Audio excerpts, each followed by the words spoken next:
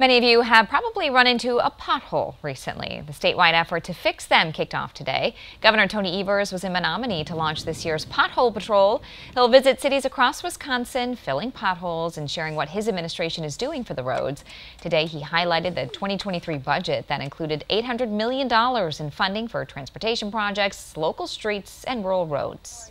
We really have to understand how important the, these jobs are that are fixing the road and frankly how dangerous. Nine, nine people died last year uh, who were working either local roads or out on the major highways.